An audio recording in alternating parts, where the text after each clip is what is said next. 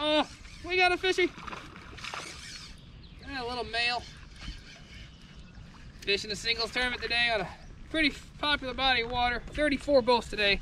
I'm on uh, what's called Duke's Bridge, Lake Waldron Lake. Let me tell you, the spring has been terrible fishing. It is April 30th. We still got water in 51.2 degrees water, and that is not going to be a keeper. But I'm in a channel. I figured the fishing's been so bad around here lately that I might as well start in channel. Fish gotta be gotta be full of eggs. They gotta be ready to do their thing. Caught this one throwing a wacky rig, uh, wacky worm by Butcher's Baits, which is very similar to a Yamamoto Senko.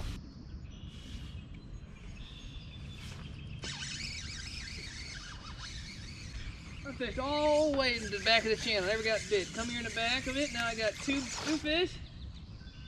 Well, fish are in the back of the channel in higher numbers at least. The wrong size, but still same deal. My butcher's bait's wacky worm. See if we can't get a big one eventually. It's got to be a big male, or better yet, a big fat female. Oh my! This has been an absolutely horrible, brutal bite. I mean, absolutely horrible. I am five hours tournament, over five hours, and I think I got my first keeper. And I've caught four little guys. It has been an absolutely horrible bite. I can't hardly explain it. Being this bad, I mean, I guess I can. April has been unusually cold. But I've come into this little channel, and I've had three bites almost right away. One was a little tiny guy again, another one uh, gave him button. Now I think I got a keeper. Well, that was with uh, uh, Butcher's Baits, uh, finesse worm, uh, uh, Magna finesse worm, I think to call it. Uh, I'll put the name of it exactly below in the description.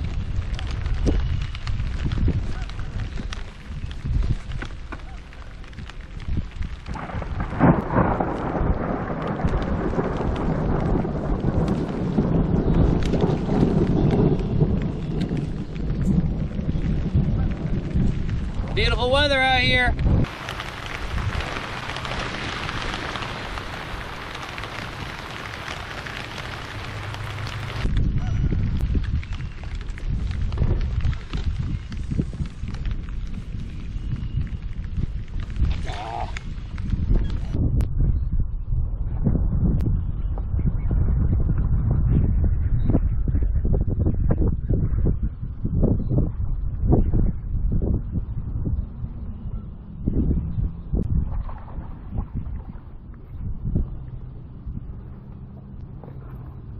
Well, he's not going to keep because he's too short, but he's a nice fat, nice fat male.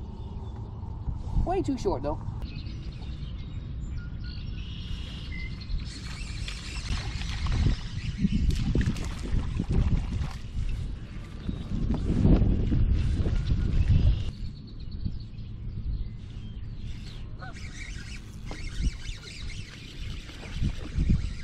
Well, doggone it. Just that big. Nice, fun little whippersnapper. I'm in this backwater here and a channel and finally found some fish. I, I don't know what the winner's going to do in this tournament. Hopefully I can get some, a word in with him. Not going to be me unless something miraculous happens here real soon. But I have tried.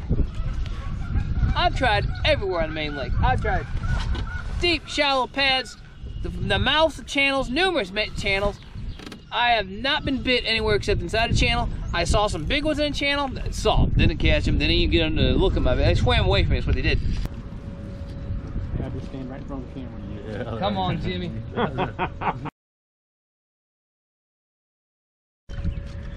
Every one of them fish caught on in your rig, right? Yes, every single one. There you. Things on fire. Big fish. 4.39 pounds. At least we had one call. I know, man. Ah. Total weight 19.01. I told you I'd catch it with the winner. But let me start off. Mr. Mike Raber won with 19 pounds. My, my two behemoths that I weighed out, caught out there, weight Mike, Yeah. 2.65 pounds. Good work. Yeah. Got him out of the Yeah, way. yeah. yeah. His smallest fish didn't weigh that much. it weighed a little bit more. But let me tell you about a classy move before I put this guy on the spot. Because I told you, he's going to spill the beans now. First spot I went to this morning, very first spot, and we're going into a channel. I'm like, baby, I'm ready to rock this joint. Mike comes in behind me. I beat him to the spot. And as I'm almost ducking the boat, casting, he hollers out to me, are you going in or are you staying out? I said, I'm going in. This man turned straight around, went somewhere else. Thank God. Yeah, yeah. See, I was gonna say compliment him on good sportsmanship. I mean, incredible sportsmanship.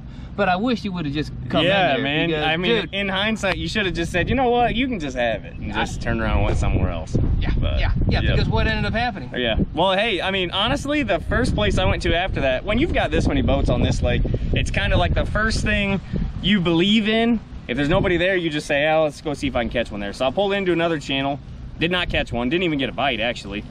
And then when I was leaving there, this is like 45 minutes into the day, I'm leaving there and I was running and I looked at a spot that I've caught a lot of good fish over the years and I haven't been catching them there this year, but all of a sudden, I mean, I looked and there was nobody there and I swung in there and the rest happened pretty darn quick. That was intuition. to Mhm. Go there. Yeah. Just intuition. And Yep. you you were here this week Yes. practicing, Yep. and you didn't touch that spot. No, I, I absolutely didn't. Nothing even in the neighborhood of that area. I was moving from point A to point B. Some people might call that just. I don't think I'm calling it luck. I don't think I will. Oh, that's, that's intuition. That's following your gut when someone's really got to feel what's happening on the water. Him, not me. That's that's the kind of good stuff happens. So you can you okay. So you got to this spot and you nailed it. I mean, hard. Yep. You got to give the juice, man. What happened? I mean, you tell me what you told me out there. Okay. Unbelievable. Yeah. So basically, I mean, I pulled into an area. The wind was blowing into it. Um, there is not much good grass on this lake right now, unfortunately, and that's a carryover from last year, which is a really bad situation. But um, there is a bright green patch of milfoil at the mouth of a channel, basically, Mouth of a and channel. it was like one of the only places that all day long I could throw, you know, a rattle trap or anything like that, and not just be completely covered in black scum. Um, yeah, so I mean, I pulled in there in the very first cast I threw in there, I put my power poles down, throw in there, and one misses my chatterbait like three times, or you know, a school misses my chatterbait like three times, and then like 15 feet from the boat, a four pounder eats it. So that was like right away, I knew there was a school there. So I wasted no time. I mean, I boat flipped the fish, put it in the live well, stood up on the deck, cast it again, caught Friday. another one. Yeah, I boat flipped every one of them. I didn't have time to go for the net, but. Yep. I mean, it, it really was. And I think that honestly was the key. There were a couple times like my trailer would get ripped off my chatterbait and I would think in my head, man, I need to get that chatterbait back, but I wouldn't. I would literally just throw it down and pick up another rod, whether it was a swim jig or a rattle trap or anything, and just keep casting because for that 15 minute period, it was every single cast. She caught fish. How many consecutive casts? Probably a dozen, honestly, or roughly. Yeah. And it was it was like right when I got there too, which is the odd thing. Normally it takes you a little bit to find them, but What killed the school? What's what killed the bite, Mike? What, killed the what bite? What killed the bite was me missing my chance at big bass. I finally, what was weird, and it happens like this a lot in those schools, you either catch the big one first or last. And what happened was I caught a couple four pounders and a couple three pounders, and then I kept catching them, but they were smaller. They kept getting smaller and smaller. And then I had one just straighten my line out, which is my least favorite scenario, like hit it going the wrong way. And I leaned into him and he was going sideways and I just simply couldn't turn him. Finally, his head popped out of the water. I mean, I'll be conservative and say it was a five and a half pound fish. Chatterbait skips across the water and lose the fish. And that moment, immediately the bite went, I mean, it was poof. It was completely different from that point on. I can show you what a six pounder on Duke's Bridge looks like. You can't just click on the link below. I, didn't catch it, but I did net it with last last November. So Mike, we had 34 guys compete today in a Mhm. singles event. Three limits, three limits. That's it. And you caught how many keepers? Uh, two, two limits at least. Maybe, yeah, yeah, probably 13 or 14. Okay, so we are. I want to say a spring cold front, but it, that's kind of putting it mildly because basically the entire month of April has been a cold front. I don't know about this global warming stuff, but global warming needs to get the drift, Yeah. the memo that Yeah. it's time to warm up. I'm sick and tired of cracks in my fingers. But what would you say to somebody during a spring cold front like this? I mean, we, normally uh, channels around here should be loaded with bed and fish right now. It's 51 degrees in channels and the main lake. There's nothing. I say nothing. There certainly are a few fish that are spawning, but very few. That was not a dominant pattern. Yep. So what would you tell someone, s- offer to somebody, free advice now, free advice on 100 fish here on fishing cold fronts during the spring? I mean, I think at the point that we're at now, you know, we're so far along in the spring. A cold front, like at the end of March or the beginning of April, might be different, but we're so far along now, and the length of days is so long. I mean, it's daylight till 8:30. So True. the bottom line is, like, if you don't know what to do, stay shallow. I mean, that really is the answer when you get to this point in the year because these fish have two things on their mind, but it's about to be one. And basically, right now there's some feeding, but Love man, they are they are really planning to spawn, and that's why it's no surprise that I caught them right in the mouth of a channel. You know. So you say shallow, how shallow were your fish? uh, I mean, most of my fish today came between a foot and two feet of water, Foot, probably. two feet of water. Yep. And we had a very strong east southeast wind today. Uh, That and did it not help. No, no, Yeah. we had some pretty awful weather. We had some thunderstorms roll through, and the wind and rain was pretty miserable. But see, you see, it can still be done. wasn't done by many, but it was done by the man, Mike Raber.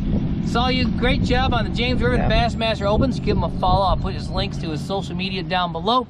And uh, he's got Oneida Lake coming up Yeah. in uh, the summer. And, Yep.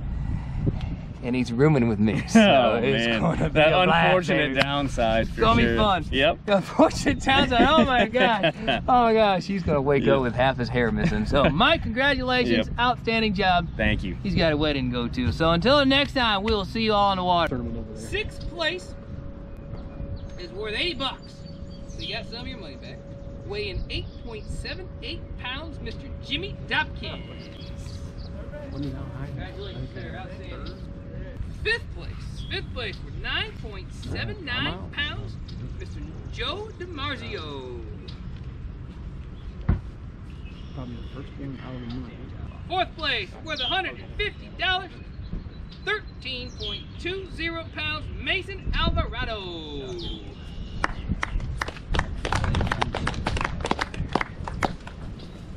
Third place, $200, 14.17 pounds. Plus, has a MegaWare skeg guard on there, so that gives him another $100.